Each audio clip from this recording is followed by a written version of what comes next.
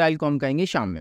उसके बाद का दौर याद रखिए, बहुत मुख्तर से तारीख हम देखेंगे जब इस्लामी हुकूमत रही और मस्जिद अक्सा और शाम के ताल्लुक से बहुत मुख्तर याद रखिए। और ये सब रिलीजियस पॉइंट ऑफ़ व्यू से पॉलिटिकल पॉइंट ऑफ़ व्यू से मैं सियासी नज़र से नहीं रख रहा हूँ। तो पहली चीज़ याद रखिए अबकर सिद्दीक रज़ी अल्लाह उनके दौर में इसके अतराफ़ के इलाके कमोबेश कब्जा कर लिए गए थे, लेकिन ये भी कब्ज़े में नहीं आया था, ठीक? उसके बाद याद रखिए, उमर इबन ख़त्ताब रज़ी अल्लाह का ज़माना है जो कि बहुत ही करीब का ज़माना है नबी करम वसल्लम से, इसलिए कि अबकर सिद्दीक रज़ी कमोबेश दो साल और तीन महीने के करीब आपकी खिलाफत रही, याद रखिए। उसके बाद उमर इबन ख़त्ताब रज़ी अल्लाह की खिलाफत कायम हुई और सोलह हिजरी के अंदर, जिसको हम कहेंगे six hundred thirty seven Christian era ईसवी के अंदर याद रखिए, उमर इबन ख़त्ताब रज़ी अल्लाह की जो फ़ौजें थी मतलब मुस्लिम जो फ़ौजें थी उन्होंने इसको घेर लिया और उसके बाद जो ईसाइयों ने तय किया कि ये इसकी चाबियाँ जो है मुसलमानों के खलीफा अगर ख़ुद आते हैं लीडर तो उनको सौंप देंगे बगैर जंग के। और याद रखिए, मस्जिद अक्सा की अगर आप तारीख़ अगर पढ़ेंगे मस्जिद अक्सा की ज़मीन की अगर आप तारीख़ पढ़ेंगे, ये वो शहर तालुद जिसको कहते हैं, या मस्जिद अक्सा जो ये, वो इलाका है दुनिया का, जिसके लिए सबसे ज़्यादा जंगी लड़ी गई, जिसके लिए सबसे ज़्यादा खून बहा याद रखे, और जिसके लिए सबसे ज़्यादा जाने गई ज़मीन के लिए याद रखे। मतलब इसके मुहासरों की और जंगों की और फतवात की अगर लिस्ट निकाले तो एक कदीम ज़माने से लोग इसके लिए लड़ रहे हैं। तो ये इसकी ज़मीन की तारीख जो बड़ी खूरेज है याद रखिए तरफ़ चूँकि शर पसंदों ने कभी पसंद नहीं किया कि लोग अमन के साथ ऐसे इलाकों में रहे।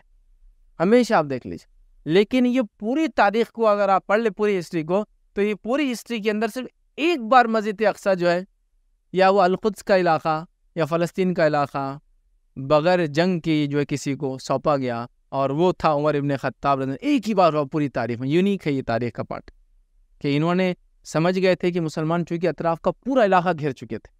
हती कि ये इधर मिस्र की बाउंड्रीज तक जा चुके थे।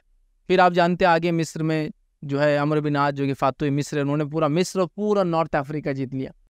तो कहीं ना कहीं ईसाई क्लर्जी जिसको कहते हैं, इनके जो पापाइत थी, वो जान चुकी थी कि अब ये ठीक नहीं है, हम जंग जीत नहीं सकते। ये मुसलमानों ने तो जो है जो है बजंतीनी हुकूमत को खदेड़ दिया था पूरे शाम से। अब उनको यकीन था कि जो फ़लस्तीन का अलखुद का इलाका बड़ा छोटा था, जब इन्होंने सब आसपास का इलाका ले लिया, तभी क्या मुश्किल है? हमत का तकाजा भी था, वक्त की ज़रूरत भी थी अमन के साथ इन्होंने चाबियों को सौंप दिया और हम कहेंगे 637 क्रिश्चियन एरा में, ईस्वी में ये मुसलमानों के हाथ आया, पहली बार आया और उसके बाद उमर इबन ख़त्ताब जंग के दौर में आया और ये पहला वाक़ था तारीख़ का जो बगैर जंग के आया। समझ रहे उसके बाद हम कहेंगे सलीबी जंगी हुई तो मतलब सलीबी जंग जो छिड़ी याद रखी और सलीबियों ने फिर इस पर फिर से कब्जा किया, जो कि दस, एक हज़ार निन्यानवे ईस्वी के अंदर, one thousand ninety nine Christian era में सलीबी जंगी हुई और उसके बाद इस पहली जंग तो बहरहाल वो बहुत आसानी से हार गया, लेकिन दूसरी, तीसरी उसका जंगी चलती रही। उसके बाद जो एक हज़ार निन्यानवे के अंदर याद रखिए वन ज़ीरो नाइन नाइन में इन्होंने इसको वापस ले लिया याद रखिए जो कि अगर हम सिक्स थर्टी सेवन एरा से अगर ले, क्रिश्चियन एरा से, जो जो है, उमर इबन ख़त्ताब जन का दौर था तो यहाँ तक तो तकरीबन कमोबेश चार सौ साठ साल था जो मुसलमानों के पास ये कंटिन्यूस लगातार रहा। फिर उसके बाद ये हुआ कि एक हज़ार निन्यानवे के अंदर ये जो है फिर से जो है ईसाइयों के हाथ में चला गया और फिर सलाउद्दीन अयूबी के ज़रिए जो है ग्यारह सौ सत्तासी ईस्वी में फिर वापस आ गया। 1187 क्रिश्चियन एरा में फिर वापस आ गया। तो गया फिर अट्ठासी साल ये ईसाइयों के पास चला गया। एट्टी एट ईयर्स फिर ये ईसाइयों के पास रहा। तो ये जो कब्ज़ा हुआ अदर के सलीबी जंगों के बाद जो है एक हज़ार निन्यानवे में तो इसकी तारीख मौजूद है। इसकी तारीख खुद यूरोप ने लिखी। चलिए, हम तो मुसलमान हैं तो वो तो कुछ बोलेंगे कि भाई, हम पे जुल्म हुआ। लेकिन जो तारीख यूरोप में लिखी गई, इतनी खोरेज है कि इन्होंने खुद लिखा कि जब क्रोसेडस जो है, सलीबी जो है जो है मस्जिद अकसा में अलखुद के अंदर दाखिल हुए तो इन्होंने इतनी खतलो आरत गिरी गिरी। यहूदियों को भी मार दिया, ईसाइयों को भी मार दिया, खुद अपने भाइयों को मारा इन्होंने, चूँकि उनका चर्च अलग था। इसके बाद मुसलमानों को मारा कि मुसलमान मतलब इंसानों की लाशों में खून में उनके घोड़ों के जो घुटने थे, वो डूबे हुए थे।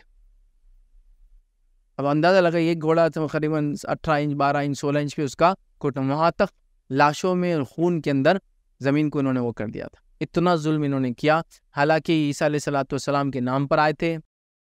ये मस्जिद अक्सा की आज़ादी के नाम पर आए थे, लेकिन इन्होंने बड़ा जुल्म और बड़ा जबर और बड़ी ज़बरदस्ती की आसपास की कौमों पे हती कि इन्होंने कुछ इलाकों में तो ये तक किया, इस, ये तारीखी रिकॉर्डेड है, कोई मैं अपनी मनमानी बात नहीं कर रहा हूँ, कि इन्होंने जिन इलाकों में कब्ज़ा किया तो वहाँ की आबादियों में जो कि ख़ास तौर से मुसलमान थी, इन्होंने इंसानों को पका कर खाया।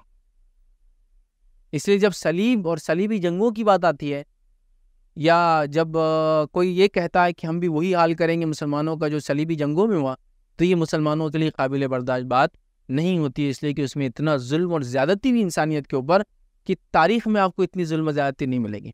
तो जो ईसाई आज ये बता रहे हैं, जो पापाइत जो ख़ास तौर से कैथोलिक चर्च है, जो आज अमन के मसीहा बन के बैठे हैं, सारी दुनिया को मोहब्बत बांटते हैं, अगर इनका जुल्म अगर देखा जाए ये हिस्टोरिकल फैक्ट है, मैं किसी कौम के खिलाफ किसी को बहका नहीं रहा हूँ this is historical fact recorded fact है। ये फैक्ट आप पूरे बैतुलमुक़दस उसके अतराफ़ और शाम में जब इन्होंने सलीबी जंगी की, वहाँ देख लीजिए। इसके अलावा सिर्फ़ मुसलमानों पे नहीं, इन्होंने तो यहूद और नज़ारा को बर्बाद कर दिया। इसके अलावा अगर जो कैथोलिक चर्च का आपको जुल्म देखना है तो पूरा स्पेन, पूरे आइबेरियन पेनिनसुला को देखिए। जब इन्होंने मुसलमानों से लिया तो रिकॉन्क्वेस्टा के नाम पर जो है मुसलमान और यहूदियों को हर इतवार को ज़िंदा जलाते जिन्होंने अपना ईमान तब्दील नहीं किया। जो लोग यहूद बन गए मतलब ईसाई बन गए, और जिन्होंने छोड़ दिया इस्लाम और यहूदियत तो उन्होंने माफ़ कर दिया। बाकी तो हर इतवार, यहूदियों को तो हर इतवार ला ज़िंदा जलाते थे। फिर आप अमन की बात करते हैं आज चर्च के जो पोप है, लेकिन आपकी तारीख जो है खुरेज है even Pope Urban the second ने जो ऐलान किया था जंग का, कि कहा कि ईसा तुमको आवाज़ देते हैं, जंग के लिए चलो, और पूरे जंगी इन्होंने करवाई। लेकिन आज अमन के बहल मसीहा बने बैठे हैं, और सफ़ेद लिबास के अंदर जो अपने आप को अमन का देवता और पता नहीं क्या क्या बताते हैं, सारे दुनिया में मोहब्बतें बांट रहे हैं यहाँ से वहाँ तक, और ख़त्ल वारतगिरी को रोकते हैं, लेकिन ख़ुद इनके, इनका दामन जो है ख़त्ल वारतगिरी से खून से इंसानों के रंगा हुआ है वो खून किसी का भी खून खून होता याद रखिए, रंगा हुआ इनका याद रखिए। तो बहरहाल, चलिए।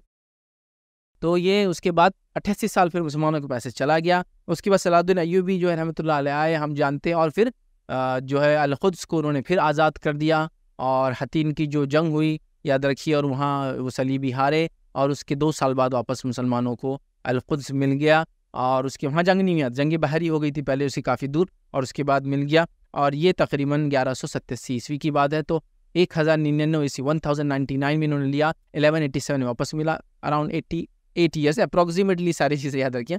हुकूमतें आती है, पुरानी जाती है, एंड ओवर वो टाइम लगता है, लेकिन मैं अप्रॉक्सीमेट बातें कर रहा हूँ आपसे। तो अट्ठासी साल फिर रहा और उसके बाद फिर मुसलमानों के पास आया।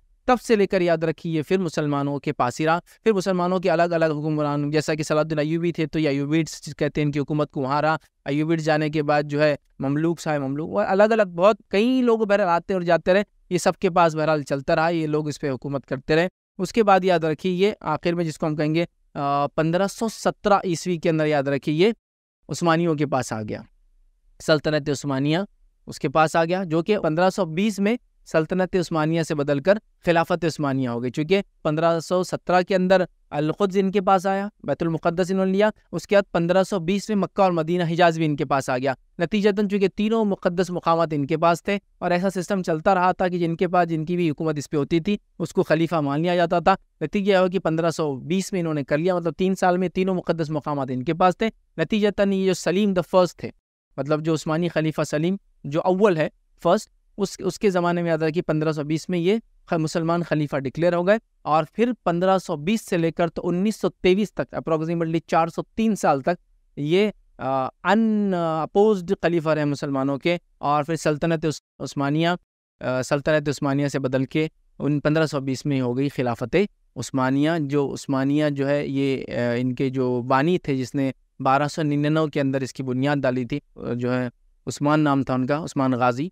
तो उसकी वजह से उस्मानिया कहलाए या फिर इंग्लिश में ऑटोमन्स कहते हैं एकदम कॉमनली या तुर्की में उस्मान लार कहते हैं इनको। तो बहरहाल इनकी हुकूमत रही और ये बहुत शान शान तकरीबन कम बेश छः सौ साल हुकूमत है, याद रखिए, एक बहुत बड़े दुनिया के खत्े पे इन्होंने हुकूमत की। फिर ये उसके बाद ऑटोमन्स के पास रहा फ़र्स्ट वर्ल्ड वॉर के ख़त्म होने तक, याद रखें फ़र्स्ट वर्ल्ड वॉर के ख़त्म होने के बाद ही इनसे निकल गया, चूँकि वो मैंडेट आया और मैंडेट आने के बाद फ्रेंच को कुछ हिस्सा मिला ब्रिटिश को कुछ हिस्सा मिला इटालियंस ने कुछ खा गए तो इस तरह से ब्रिटिश मैंडेट के अंदर आ गया पैलेस्टाइन फलस्तीन जो है ब्रिटिशर्स को मिल गया।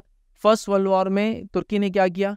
जर्मनी का साथ दिया और जर्मनी का साथ देने के नतीजे में जर्मन हारा। हारने की वजह से तुर्क भी ज़ाहिर से हार गए। उनका पूरी सल्तनत और ममलिकत उनके पास से चले गई। नतीजा ये हुआ कि कुछ जितनी कॉलोनीज थे, जो जो वॉर के अंदर बड़े बड़े पार्टनर्स थे, उन्होंने बांट ली ज़मीन को, ये इनकी होंगी। तो फलस्तीन चला गया ब्रिटिशर्स के पास उन्नीस सौ सत्रह में।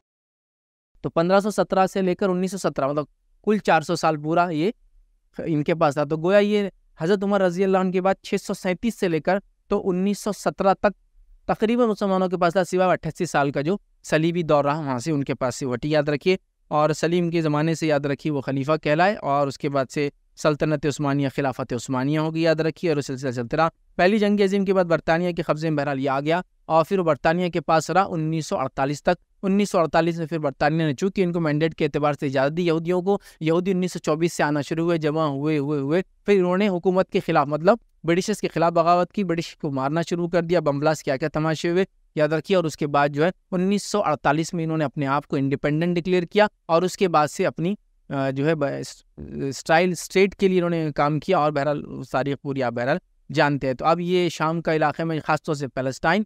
बहरहाल अभी शाम में सीरिया अलग हो गया, लेबनन अलग हो गया, फ़लस्तीन एक हो गया। लेकिन बहरहाल वो शाम का एक हिस्सा ही है बोल के मैंने उसको तारीख का एक पार्ट लिया।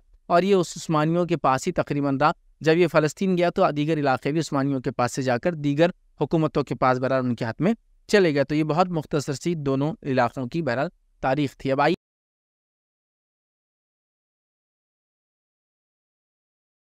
वालेकुम आप भी हमारे इस काम में ताउन करें, अपनी ज़कात और के ज़रिए डोनेशन डिटेल्स के लिए डोनेट पर क्लिक करें। अगर आपको हमारे वीडियो पसंद आए हैं तो इसे शेयर करें और सबके हकदार बने। रोज़ाना हमारे वीडियो को पाने के लिए हमारे यूट्यूब चैनल को सब्सक्राइब करें और बेल आइकन दबाएँ। हमसे सीधे सोशल मीडिया पर जुड़ने के लिए वीडियो में दिए गए आईडी को सर्च करें। जजाकल्लाह